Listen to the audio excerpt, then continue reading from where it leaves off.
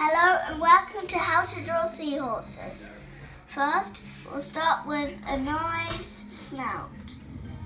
So do a nice length rectangle, not too fat and not too thin. And do nice it long. And then we'll do a head and a mane. So for the head, go out a bit and then up to do a nice semicircle and leave it there. And then we get the mane, start about there and take it over like this, join it to the back of the head and do nice spaced out lines to make it look detailed because seahorses have things like this. And look, maybe if you want to make the snout 3D, just do a little curvy line to make it look like its mouth is open. Now we will do a body.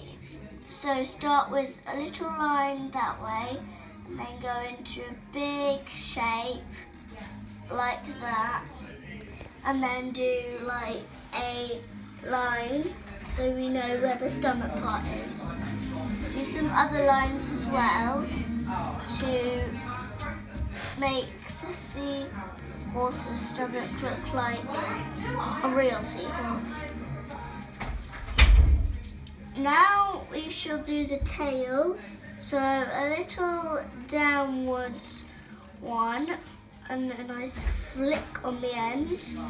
Make it 3D by making it like this and then join it up with the seahorse.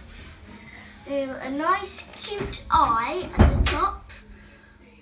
So do a big circle, a semicircle and then a small circle and colour it in and then do a little eyelash and then if you want to you can do a circle and then a fin for like so it can swim and there you have and you can do a few lines and there you have a seahorse and go to my app on efoster at doodle.com. Thank you and bye.